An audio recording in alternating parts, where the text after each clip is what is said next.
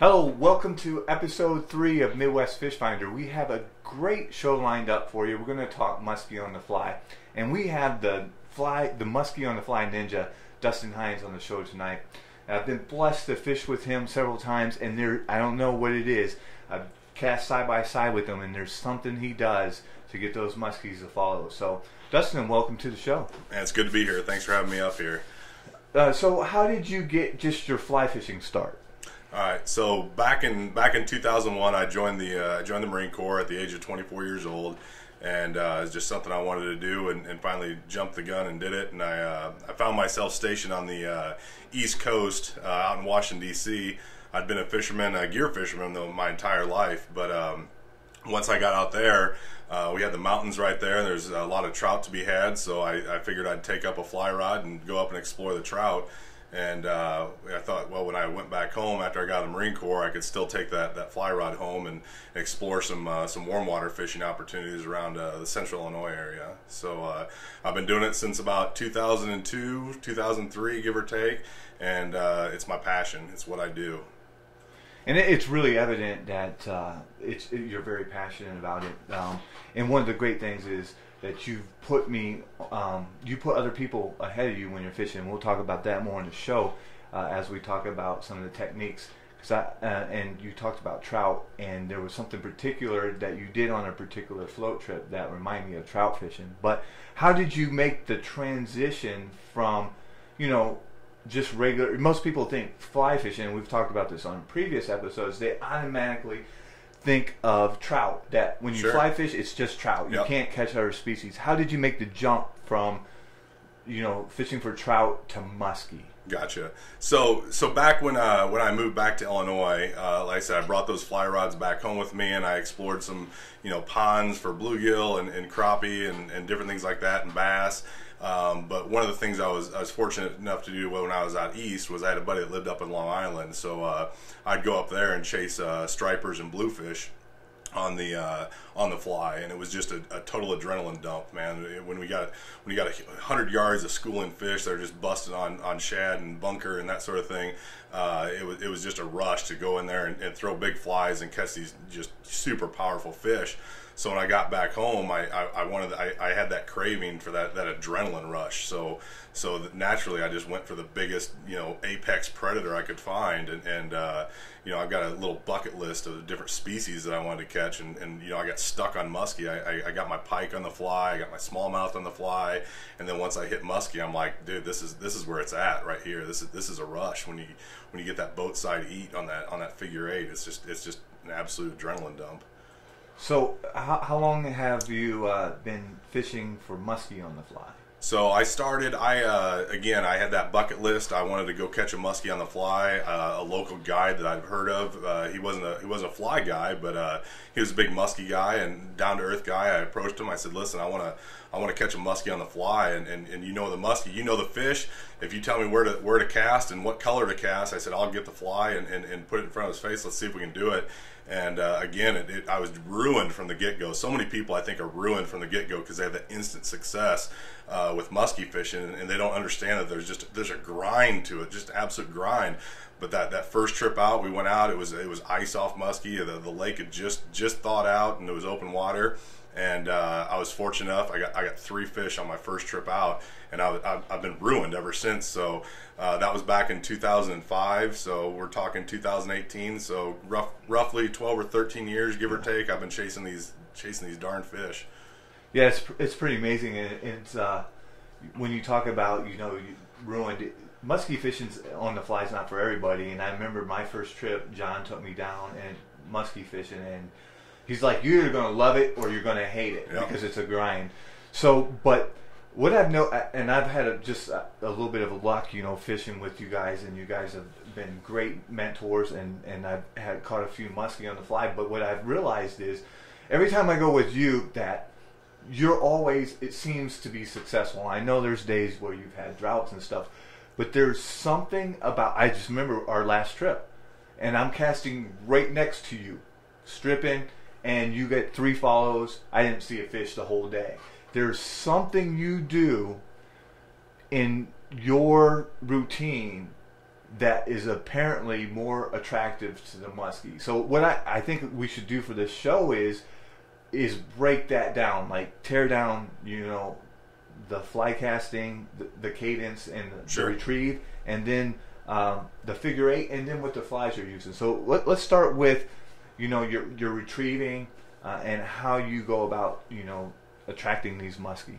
Let, let's back it up one one step there even further, and let's let's uh, let's get before the retrieve, and let's go into the cast, and, and, Okay. that, and I think that cast is real critical, and, and again, uh, just casting to a fish is, is very important, and, and you know, the more and more I fish these bodies of water, I'm, I'm learning where these fish are lying, and, and you know, while you might be in the back flailing around throwing casts out there, I'm I'm trying to cast to you know strategic spots, you know, like I think a fish would sit right there you know this last time we went out it was it was super warm. We were looking for that or su- super cold water and i'm looking for that warmer water. I'm like they're gonna be sitting up and you know i'm, I'm looking for a dark dark area. I'm looking for some place where they're gonna sit where they feel comfortable and where they're warming up and that sort of thing. So just me casting strategic spots whether it's a little rocky outcrop or something like that is, is you know placing that fly not just not just aimlessly casting and casting and casting and then and then going into the retrieve, you know, and, and like I said, each fly uh, presents itself into a different retrieve. Um, you know, I, I explained that you know I was moving fish one day on a double hand retrieve. I didn't know what the heck I was going to do when I got the fish on, but I knew that I casted this one piece of structure. I knew there was a fish in there, but I just couldn't get him to come out, and I, I, I ripped one by with a double hand retrieve, and he, he blew up. He blew right out of there, and I, and then I, I was able to move him several times, but he never would never would hit. But he wanted that super fast presentation. Other times it's a it's a strip strip pause, it's strip strip pause, and and uh, making that fly just walk the dog. Uh, Most I would say ninety eight percent of the flies that I fish, uh, probably a fault of my own, are that walk the dog style. I want that I want that back and forth action all the way back to the boat. And, you know, every time I sit down at the vise, I'm just trying to perfect that tie to get that fly to walk on every single strip. So when I'm stripping it in, I'm, I'm watching that fly and seeing how it's reacting to each one of my pulls, each one of my strips. And if it's walking on a, on a strip, strip, hard strip, strip, strip, hard strip. And when I'm saying I'm, I'm it's a strip, strip, hard strip, you know, I was kind of showing you the last time that I came out. Uh, so I make a, I make a real hard strip, and it gets it to walk to the walk to the left or walk to the right, and then I'm throwing two micro strips in there, and all that's doing is not moving the fly at all. All it's doing is getting that big boa slack in, and then once I'm taut with the fly, I give it a hard yank, and it, it, it automatically just rips it back. Um, other flies, you know, I, I throw the Optimus Swine a lot, and I love that fly. It's got it incorporates that popper. Uh, it doesn't matter what you do. If you just strip, strip, strip, it just walks the dog all the way back beautifully. And uh, just keeping that cadence up. You know, we, we were going into the figure eight, and I was critiquing your casting, your retrieve. You know, as that fly is walking back to the, the to the uh, to the boat, I'm watching that fly. Not only am I watching that fly, I'm watching behind the fly. Um, I, I think I missed a lot of fish early on because I got so intrigued uh, just watching the fly, just watching it work, and I wasn't looking behind, seeing that fish that might have been a foot, two, three, four feet even behind that fly, and uh, maybe not going into that figure eight or keeping that cadence right. But anyways, I'm getting it back. If I see a fish behind it, I, I like to I like to speed it up. So if a fish is following it, um, I, I, I feel like I'm, I'm trying to be like the minnow and uh, that that fleeing bait fish. Like, oh crap, there's a predator behind me, and I speed it up, you know, and get that fish excited. That way, when it comes into the figure eight, it's ready to eat right then and there and then uh, and then we'll we'll cover the figure eight. But I'm going right in. I'm keeping that same cadence, whether it's a fast cadence or whether it's a slow cadence, whatever I think the fish wants that day. Uh, going right into the figure eight and keeping that same presentation right into my L turn, right into my figure eight. And that's interesting. You say you know that you speed up at the uh, when you see a fish and. Pike are so different because you can actually just stop the fly, Right. And then the pike will come up and just maul it. So it's important. What I am taking from everything you're teaching me is important to keep that fly moving because Right. if you let it stall, then that muskie will probably lose interest, Yeah, right? yeah. If, if you stop that fly, um, now don't get me wrong. Different bodies of water, different fish. Every fish is different. Just like we're Yeah. different, they want a different presentation. Sometimes I've sped that fly up and they and they bolted off because I sped it up. Doesn't work every time. I just like I said, uh, I just try to keep what works, you know, consistent and just keep doing that. And if I, I you gotta you gotta read the fish. You know, the the last body of water that we were on, you know, uh, prior to you coming out there, I went into a figure eight, and those those fish are super super spooky because they just get pounded and pounded and pounded by gear guys. And I went into my figure eight, and they were seeing the boat, seeing me, whatever, and they just bolt off immediately. They weren't they weren't keyed into that fly, and, and so you got to read your water, you got to read your fish, know what that fish wants. Don't get me wrong. Again, like I said, I've I've, I've known several gear guys that yeah like i bring that bait in i just kill it right next to the boat and as it slowly falls they just crush it i'm like dude that's totally contrary to what i'm running into if as soon as i kill that fly as soon as i kill that motion they're gone man they lose interest and they just fade away so find find the ticket I wonder, um, you know, with our last trip, the reason you were getting them in the figure eight because we did have a little bit stained water, right? Yeah, yeah. So I wonder if that has anything to do with it, you know, or Yeah, it I was mean, we're choppy. It was choppy. yeah. Oh yeah, it, dude. That, that's that's the hard thing with muskie, man. You- you- one, once you think you got them figured out, man, it, it just it changes. You know, it changes. And, and like I said, I just try to try to play the odds. I'm a numbers guy. I crunch the numbers. Like you know, okay, this worked the last three or four trips, or this worked the last three or four retrieves. I'm gonna keep doing this. But you know, you gotta you gotta you know, with muskie fishing, man, it's that definition of insanity. You, you do the same thing over and over, and you're gonna get the same results. You know, Right. good or bad. Right, right. So um, now that you, you that's interesting about how you retrieve, and then you say you go into your L turn. So for people that are new, what is an L turn? All right. and Yeah. So I'm bringing that I'm bringing that fly back to the boat. I'm watching that fly. I'm watching behind the behind the fly and that sort of thing. And uh, regardless whether I see a fish or not, uh, it's critical. Like if you're if you're not devoted and you're not you're not you're not going to do it every single time. You're not going to go into that eight every single time. At least do yourself the the, the favor of, of going into an L turn. And what I mean by an L turn is you're bringing that fly back in. You're coming straight back to the boat. You're in line with it. You've got your you've got your rod right in line with the fly line. You're not coming in at an angle. It's coming straight back, and I'm gonna come. I'm gonna bring that fly within a foot and a half to two feet of my rod tip. You, got to bring it in close. You can't have too much slack in when you're doing that figure eight. I get that fly right up into the. You know, I'm pulling my tippet or my. I'm pulling that leader up into my my uh, my rod guide and then I'm coming straight in towards the boat or towards the shore. If you're wade fishing, we, we catch a lot of fish wading. You can do the same thing. It's not impossible to do a figure eight uh, from the bank, but you got to be in waders. And you got to be standing in enough water to have that fish work. Anyways, I've, I've already got that rod tip in the water. I'm bringing it straight back and I'm shooting straight out. And I come straight in and I shoot straight to my right. I don't go to the left, I go to the right. And the reason I'm going to the right is because a lot of times that, that change of direction, the change of direction is what keys that fish in. That's why the, the figure eight is so deadly on these fish, is because that bait fish is swimming straight away from them and all of a sudden it turns hard. And when it turns hard, it's showing that profile, it's showing the side, and that's the way that fish wants to eat that that that prey is is come from the side and just t-bone that thing. So when I when I turn it, when I make that L turn, I catch a lot of fish right on that L turn. I come straight in, I kick it out to the right, and again, the reason I'm kicking it out to the right is, it, and it's a comfort thing with me for for setting that hook okay? So when i come and i make that when i punch my punch my rod down and punch it to the right and then i'm bringing it up i'm going into that first turn of my figure eight that's where your your most active fish are going to hit. They're going to hit it right there. And when they do they're coming up from behind it. They've come straight at you.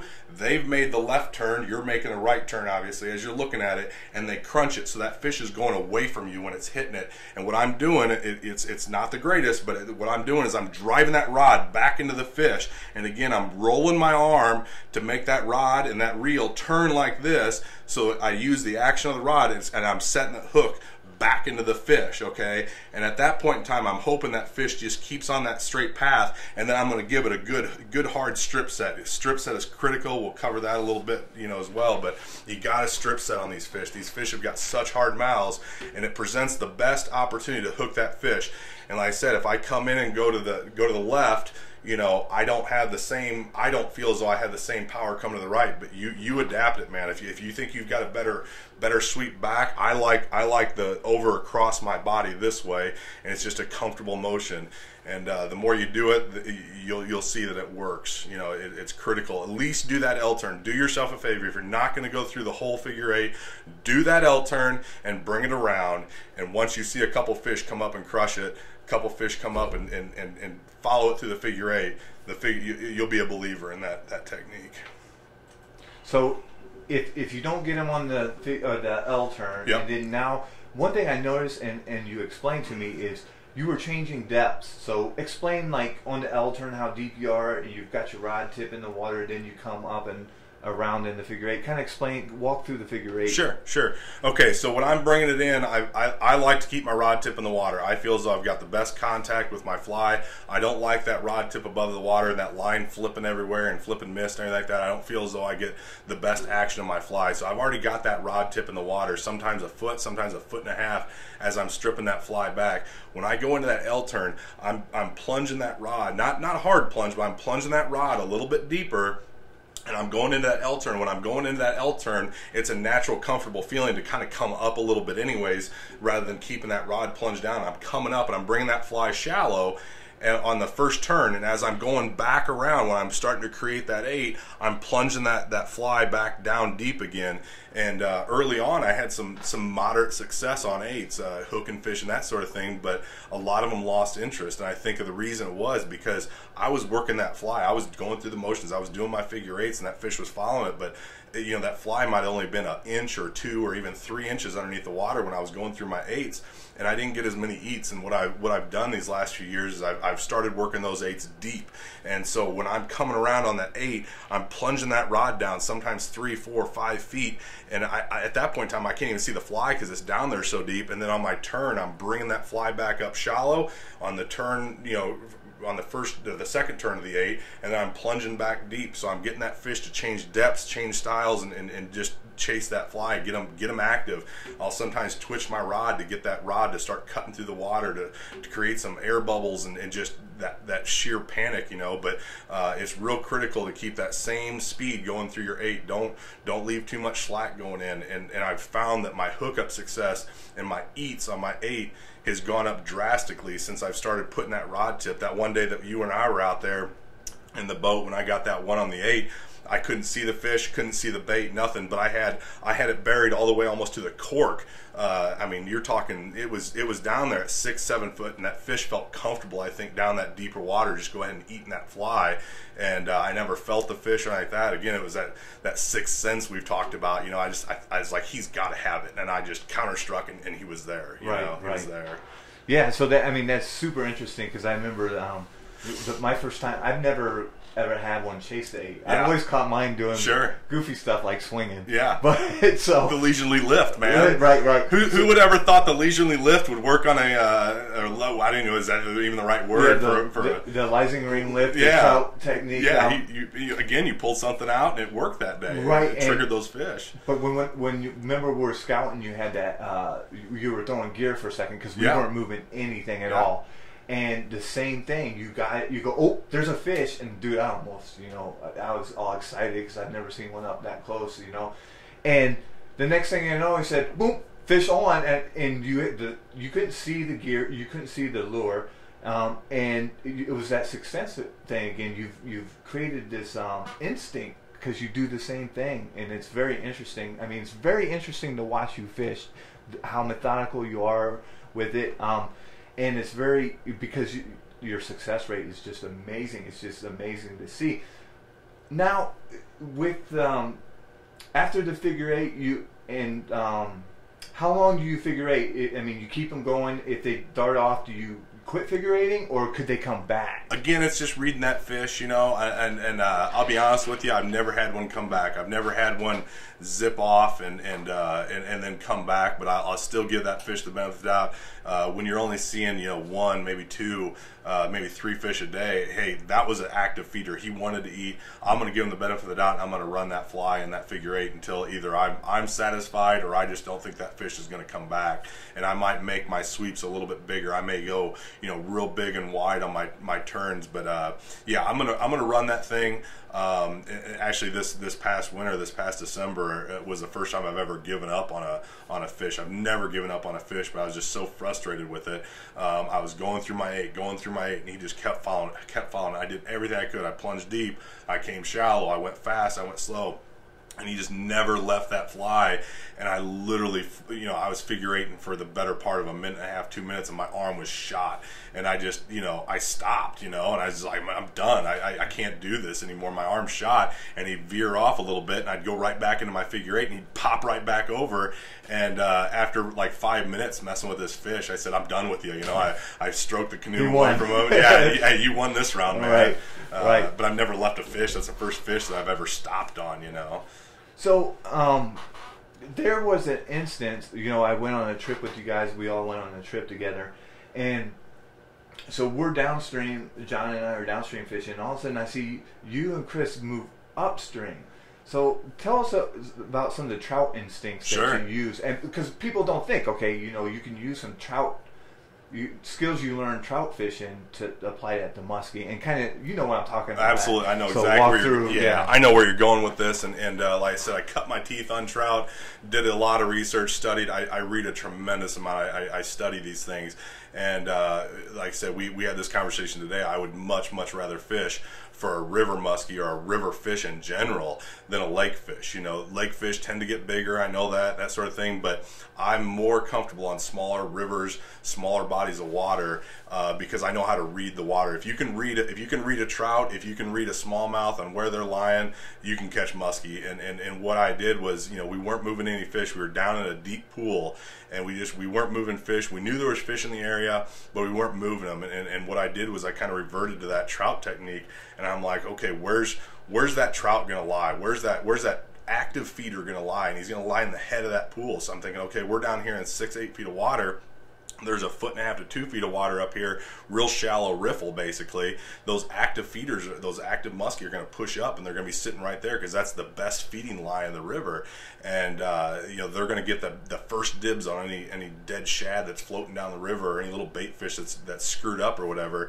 And we moved up there and I, I said, hey Chris, let's let's let's sneak up here and and you know hey we're all buddies, but hey, Right. we were we were moving fish up there. We just kind of kept it quiet. I said, hey, keep it quiet right now. I said, well, you see a fish, you know, you keep Yeah, it you quiet. know, Yeah, we were, you we know were, everybody's going to tailgate. we were, we were, we were being stealth, stealthy, and, and you know, and, and, you know, like the second or third cast he threw into that shallow water, boom, there he was, and he followed in. And, and again, this is where I go back to the figure eight. You have to when when you, you body placement in a boat, body placement in the and and, and, and strategic placement in the stream when you're wading, you have to do that because that fish came in hot after Chris Fly. It was going to eat. It was going to eat, and he goes to do, go into the figure eight, and, and he's standing in, in a foot of water, and, and that fish just wasn't going to come up into six inches of water and, and follow that fly to the figure eight. And uh, he'd have had that fish on the second cast. Um, and then we proceeded to move it out of that cover a couple different times. But that was a real eye opener for me. It's like get out there, put yourself in the best spot. So if you if you've got a figure eight, if you've got a hot fish following it in, that you can plunge that rod down and, and, and work that fish right next to you. Because if you're standing in six inches of water, you're, you're he, he's gonna, he's not going to eat. You know, he, he just I mean I'm not saying he's not, but Yeah. you're not going to be able to effectively work that fly. That's what happened in the boat with us. We had the boat in a foot of water, and I'm trying to figure eight in a foot of water, and that fish just came in and just blew up on that fly. Just Right. mud and crap and bubbles and everything like that. I can't hardly work the fly because it's in such shallow water, you know. Right, So right. I said body positioning, you know, turn And yourself. That that happened to Chris twice on that trip. It did. You know, farther down, you know, he he was we were in shallow, and sometimes you know there you're limited by you know the river, the Sure, contours sure. of the river. But same thing, you know. And I thought for sure he was on. I mean, he did everything perfect. But what are you going to do when you're in a foot of water? That was Wow. that's the other thing too. You know, it, it- back to the figure eight. You know, um, whether it's military trainer or what, or just doing this long enough, man. I like I'm super cool. Like I just super calm when I'm bringing that fish in. I'm like, yep, there's a fish. I go right into my figure eight, and you know, I'm working that fly and I'm working that fish. And I'm staying calm, and as soon as that fish does what it needs to do, I do what I need to do, and, and, and go into action and get that hook set. But it's just the opposite with him. You know, we, we totally ruined him on that trip because Yeah. there was four of us standing up on the shoreline and we're like Right. go to the eight go to the uh, and i'm just so excited i'm just I, I screwed him up because he couldn't focus and when that Right. fish ate he, Yeah. he screwed up the hook set because we're just screaming at I mean, him I swore he did everything perfect. I yeah. thought he did the perfect Oh, he did. set. Yeah, he hit him. You know, um, it just sometimes that's how it goes It with, with that type of fishing. And it, it's funny you say, um, like me when that boat, uh, when the well, when we were on our last uh, trip on the river, um, and we're in the canoe. And you get that fish on the eight, and I'm like, "Well, what do you want me to do?" Yeah. I'm all excited. you're freaking out. You're freaking out. Right. I'm just like, I got the fish. I'm just Yeah. like, I'm like, net the fish. I mean, about as calmly as you. I mean, this, the fi- I got the hook fish. It's flopping both sides. And you're like, what do you want me to do? And I'm just like, net the fish, man. And, Yeah. and, and and you know, I'm not. You know, this sounds like we're just telling stories, but Right. what you can take from that is just stay calm, keep Right. your cool, don't jack it up. You've done everything right up into this point, up into the strip, up into the L turn, and when that fish eats, don't lose your cool and freak out. Right. Like I said, I'm freaking out over this guy. Catch- I'm not even the one catching the fish. I'm totally Right. cool. I'm, I'm Uh, you know, I'm stone cold when it's me. But you know, just watching him, you know, get that fish. And you think you know you're stone cold um, uh, attitude or your um, the way you approach them is that out of experience? You know, Yeah. you've done Oh, so God, much yes. of it. You know Oh, that, yeah, yeah, that, that- it's created. like Believe a- me, when I first started this, oh, totally freaking out, totally fish, fish, because you know it's like holy cow. When you've only seen you've been fishing for six, eight hours, all of a sudden there's a fish behind your fly. You're just you, you either do one of two things. You know, early on, you either completely freak out or you stop the fly. Yeah. Deadly, just absolutely lethal to your retrieve. You're like, oh, there's a fish, and you stop retrieving. You're like, and then he fades away. You're like, oh my gosh, that was it, you know. Or this last trip where we casted the entire day, and that last tiger, you know, it's at the end of the day, I'm smoked, I'm tired, and uh, that fish just came out of nowhere and, and just nothing water and just inhaled that fly. I never even saw him, and I just sit there. I'm like, and I didn't do anything. I, I freaked out. I'm just like, oh, tiger. I'm like, set the hook, Yeah. you know, I just like set the hook, and I, I totally. I mean, he, he literally came up, fly was gone. This fly right here, gone out of his, uh, you know, completely in his mouth, and I just sat there and, and I was I was smoked. We, we we'd been on the water for nine hours, and I was just smoked. Um, and that's interesting. And, and um, I mean, all I've been lucky, very, very lucky in my outings because I, I've actually caught them on swing. I've never had to mess them up. And John's like, I can't wait till you mess them because you're going to do it. Yeah. You're going to. It's going to be right by your feet, and you're going to trout set. Yeah, But. I've been real lucky because when you're swing, they just for some reason you don't. I don't know if they grab it on the swing and they turn and it almost sets the hook Sure. automatically. I could get away with my little trout set. Um, so I've never had the chance to really mess it up. I know it's coming in my future, but right now I'm on a- just a complete drought. But um, so I can't. I, I couldn't imagine with the fish right by your feet, eating right by your feet. What I'm going to do? I'm probably going to scream like a girl. Well, naturally, naturally, the first couple times you do, we Yeah. all do. So, but um, let's let's talk about the flies. I mean, the flies I use are not so big. Hold on, man. Let's let's back that up. Let's back that up before we get into the flies because you brought up a critical point. That's Okay. that, it's that strip set. Okay, let, I, I want Right. to I want to I want to make that clear as day. That's got to be a strip set, and, and you know maybe you guys don't know what a trout set is, but a trout set is, is just that that lifting of the rod, and that's just absolutely detrimental to a hook set on any muskie. And I, it, believe me, I watch all these videos. I've watched every single YouTube video out there. You know, some guys are successful with it, but you know, time and time and time again, you will fail if you trout set. You've got a strip set, and what I mean by that strip set, and you've got it just anchored into your head all day long, is is as you're retrieving that fly, your your your rod's pointed, you know, straight at that fish and uh, or straight at that fly. And as you're stripping and you're making those strips you're making those strips. And when he eats you know again this is where you got to keep your cool. As soon as he eats you know if you can wait if you can just you know have that intestinal fortitude to wait for that fish to turn just for a second that fish fought hard. He, he swam hard. He opened his mouth and he ate that, that fly. He worked for that piece of bait. He's not going to let it go. He's not going to just open his mouth and just let that fly go. If you can wait for that fish just a, just a half quarter second to turn, and then you're just going to strip just like you're stripping the fly in, but you're going to give it a lot more oomph. You're going to point that rod straight at that fish. You're going to punch your rod out, and you're going to drop that left. If you're right-handed, you're going to drop that left arm, and you're just going to drive that in.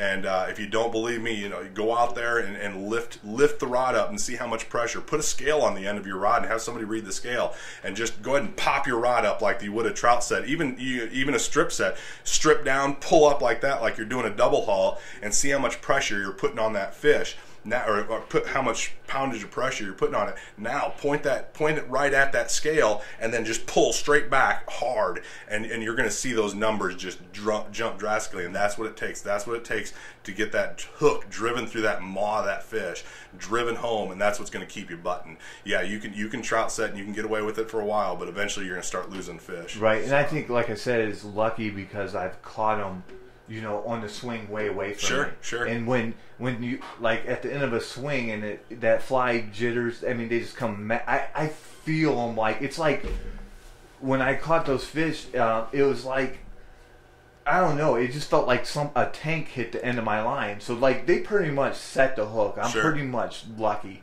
that you know. Uh, and I, I can't wait to get. I've never had one on the eight. It's gonna happen, man. It's gonna I know. happen. So I just gotta get down with you guys. Yeah. things, yeah. yeah. Especially now that um, I'm in, you know, hooked up with you guys. I, I definitely can't wait for that. So strip set very important. Um, what about flies? I mean, the Yeah. flies I've been using seem to be like little baby Sure, flies sure. compared to the ginormous you know, flies.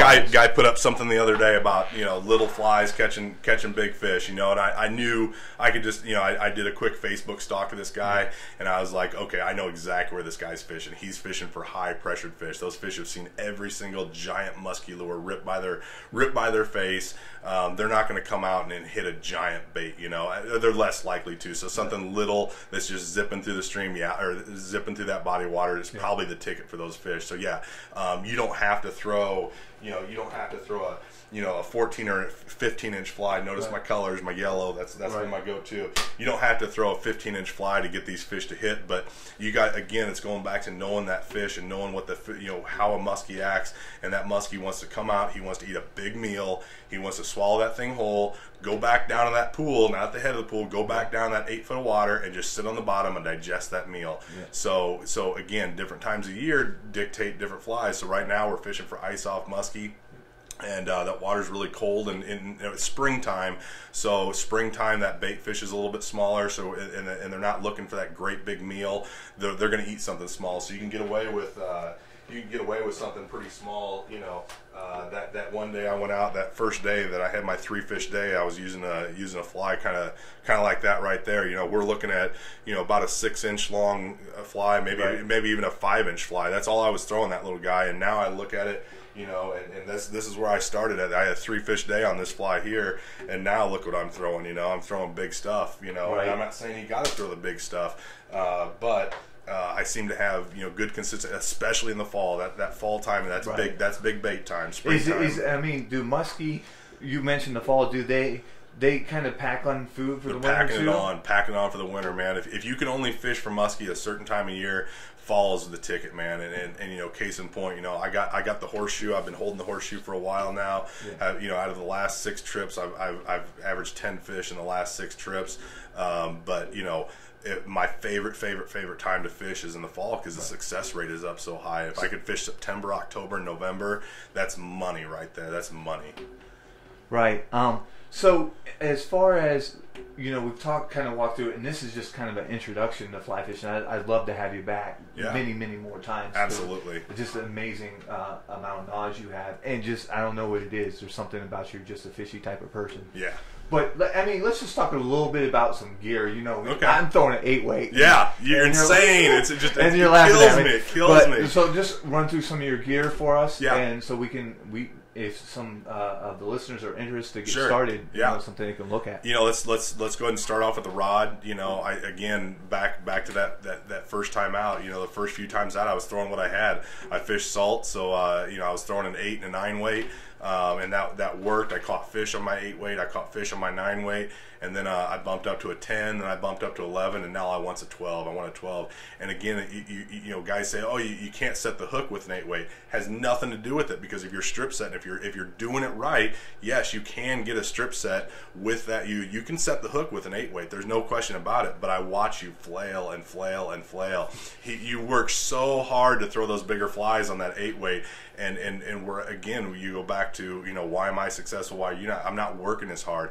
Uh, I'm not working as hard. It's contrary to what you might think. I'm not working as hard to throw those big flies that ten weight because that line is and, and, and the power that rod is throwing those out with as little effort as possible. So that's why I'm fishing these tens and elevens is because I can throw these bigger flies out. So so rod, yeah, I'm fishing a 10, I'm fishing an 11. I don't think it, you know you need to go to a 12, but if you're if you're just starting out, if you're just getting into this and all you've ever thrown is a 6, 7, maybe an 8 weight, definitely definitely look into a 10 weight. It's my workhorse, man. I use my 10 weight. It's my workhorse. Uh, that's why I throw the bulk of my musky flies. Um, and then in the fall when I'm throwing those bigger flies, yeah, I'll throw that 11 weight. Reels, I am not hung up on reels at all. I, I literally have 350 $400 fly rods with $40 cheap reels on it Right. because I firmly believe that, uh, well, at every single muskie I've ever caught, I've never put one on the reel. I do not put any fish on the reel. I've got 30, you know, if that fish, fought, you know, I'm throwing out 60 feet or, or 50 foot cast, I've got 50 feet of line on the deck in front of me. And, and the minute I take my eye off the fish, once that hook, that fish is hooked, and I start tapping that reel and, and, and trying to reel all that line in, that's when I lose the fish. Right. I am 100% focused on that fish. Once that fish is on there, I'm 100% focused on it. Right. Salt, absolutely critical. You got to have that good drag. You got to have, you know, you're going to be down in your backing. But reels, I don't waste my money on it. What I'm Right. looking at is a balance. So your reel on your rod needs to balance your rod. It's got to be the right weight. Again, taking that strain off your shoulder, Yeah. making those casts easier. Um, after that, moving into lines. Again, I talk about my 10 weight being my workhorse. My workhorse line, intermediate. Just given the, the bodies of water that I fish, they're shallow. They're you know I'm working a weed edge. I'm working a you know a river that the deepest part is is maybe eight foot. You know, so those fish are always looking up. They're a predator. They got the eyes on the top of the head. They're sitting in structure. They're looking up. They're looking at the bottom of that fly a lot of times. If I can get my fly down that intermediate line, if I can get that fly down a foot, two foot, that's all I need. Even in eight foot of water, that fly's riding you know two three feet above his head. He's going to eat it. So I, I throw an intermediate line. I'm throwing a 10 weight line on a 10 weight rod. Um, I, I've got a floating line. Honestly, got it. I've literally used it like two or three times. I can't stand throwing a floating line for muskie. It works that fly too shallow. A lot of these, Right. you know, need a line. And then I've got my my my sinking line. So you know, I'm I'm throwing just to throw some names out there, not endorsed by anybody. Right. Uh, I'm throwing the Rio Pike Muskie. If- uh, It's a love hate relationship with that line. Still Yeah. working some kinks out. We're gonna get the you know Rio's gonna get through this, you know, and, and, and they're they're they're developing. We've had some issues with it. If you guys been in the industry a little bit, you know what I'm talking about. Uh, and then SA after that, I'm throwing a lot of scientific angler lines. They got it going again. Uh, intermediate, and then uh, if you're only going to buy one line, intermediate line. If you're if you're fishing a lot of lakes and you're fishing some deep water or some faster, deeper rivers, then uh, I really like this uh, this triple density by SA. This Sonar Titan is just just phenomenal line. Um, and and do yourself a favor, spend your money on the rod, spend your Yeah. money on the line, save up on the reel, man. Just just save your money on the reel. Right, that's the same thing. You know, John always told me with smallmouth is the the reel just holds your line. You're not Yeah. gonna put a smallmouth on, on on the reel, and I do sometimes just for practice. Absolutely, you know, absolutely. But um, as far as you know, the gear, I you know I use that um, that I have. You know, because I'm a Redington guy. Oh, You yeah. know? So the Predator, you know, I have a 10 weight Predator. I never use it. it just sits over there. Actually, the, the one time I use it, you've got a ten weight predator, sitting right there. Dude. Yeah. What? Yeah. What? the- I, I gotta I gotta send it back because remember I said that on um, I said it on that fish and I, the, uh, I didn't have the ferrule. I didn't. That's right. ferrules, That's right. And I okay. cracked the ferrules Okay. on. But yeah, I get gotta- that thing I, sent back, man. I know. I mean, I've just been sitting there. Solid rod, solid rod. Right, that predator right. solid rod, man. That's And then I just used the behemoth, you Yeah. know, seven eight. absolutely behemoth all the way. Yeah. And then critical what he just said there, seven eight. Those behemoths are just that. They're huge. Had a nine ten on my eleven weight, huge reel. Hey, there's some guys out there that are, are gung ho and they, they like those bigger reels, but hey, I don't like the weight of that thing, Right. you know. So seven eight again, uh, totally. You know, it's it's. I'm not gonna say it's a bulletproof reel, um, but it's it's a solid solid reel. And if I ever go to the salt, it's got plenty of drag power to, to handle any fish in the salt. Right. And I mean, we did just on a side note. Yeah. I know you fished for carp. I mean, Oh, you- yeah. I mean, so uh, those reels, in my opinion, would be just fine for primo. Yeah. primo. You know, yeah, that's that's literally my next reel is going to be a uh, a six seven or something like that, and a behemoth for Yeah. my for my seven weight vice that I just Yeah, picked up. nice, so nice. yeah, All right. So before we end the show, because we've been talking. let's talk. Let's talk real quick about leaders. Okay, real Good quick about leaders. Yeah, real quick we can do leaders. Let's finish it out. We've got the Yeah. reel, we've got the rod, we've got the line. Now let's go to the leader. Leader, don't overthink it. Don't overthink it. You made the comment when we went out, and I, I had to kind of check myself a little bit because I was running. I was literally running uh, a, a, two and a half foot leader. I mean, just uh, and and that's it. That's all I was running was a two and a half foot leader. Like, God dang, your leaders are short. And I said, yeah. you know, and then I checked myself and I, I lengthened up my leaders a little bit. So don't overcomplicate it. Um, if you're a wire guy, fish wire. If you're a fluoro guy, fish fluoro. Um, I was a wire guy for years and years and years. This last year, I started experimenting with fluoro, so I'm running fluoro. I'm literally running a three foot section of straight fluorocarbon, right right to. And again, if you're a snap guy, run snaps. If you're a if you're a if you're a knot guy, run run knots. Um, but yeah, I'm, I'm running. Basically, my setup is three foot don't don't judge me on this. Three foot, and it might be why I'm catching fish and why he's not. Just Yeah, saying. yeah, I'm no. running. I'm I'm running three feet of 50 pound fluorocarbon. That's it. Right to a Stay-Lok, and I, I stress Stay-Lok because I love these snaps. They don't fail. Um, I love these snaps, and I change flies. I'm a fly tire, so I'm changing flies all the time. So I'm not a knot guy. I like to change my flies, um, and the snaps are the way I do it. Um, like I said, maybe not the best thing to start out with. We're catching a lot of small fish. Biggest fish we've caught out of these bodies of water has been about a 44. I've caught enough muskie. I know what's going to happen. I know I'm going to lose a fish, but I get good action with my fluorocarbon with my fly, and I, I, I really and truly think that I'm, I'm catching more fish because I'm running fluorocarbon. I'm going to lose a fish. I'm purely okay with that, you know, and, and I'm, I just hope that if I lose a fish, uh, you know, it shakes that fly out and, and lives a happy fishy life. But uh, yeah, re- wired up. If you want to wire, I'm just doing a loop to loop connection. When I was running wire, I'd run about a two and a half, three foot section of fluorocarbon. Uh, roughly about 30 pounds and then I'm going right into about a about a 15 12 to 15 inch uh, wire again with that snap doing a loop to loop connection two perfection loops in the end looping them together and you're and you're in business you pick your wire if you want some if you want some ideas on wire write in ask Yeah. Josh we'll, Yeah. we'll give you some pointers on wire to use Yeah, right on. I mean, Rio makes a good one. yeah oh yeah real that's what I was using solid Yeah. So, uh, before before we end the show, I mean, that, thanks for bringing up the, Yeah. the leaders too. But before we end the show, I just want to you know give um good, we're going to do this tournament. I want you to talk a little bit about the tournament, the Muskie tournament, just so we can give them a plug. Sure, there and, sure. And Yeah. hopefully we can run and run into some people down there yeah, again. yeah. Just look us up. Look us up, dude. This is this is our passion. This is what we do. So, So, talk, talk about uh, the tournament coming so, up. so this year, uh, fishing my very first muskie fly tournament. Uh, we're going down to Tennessee, uh, McMinnville. Uh, it's been going on for a few years now. It's put on by Towee Boats. It's called uh, Hardly Strictly Muskie. Super pumped about it. Heard a lot about it. Watched it year after year. I've been watching this thing.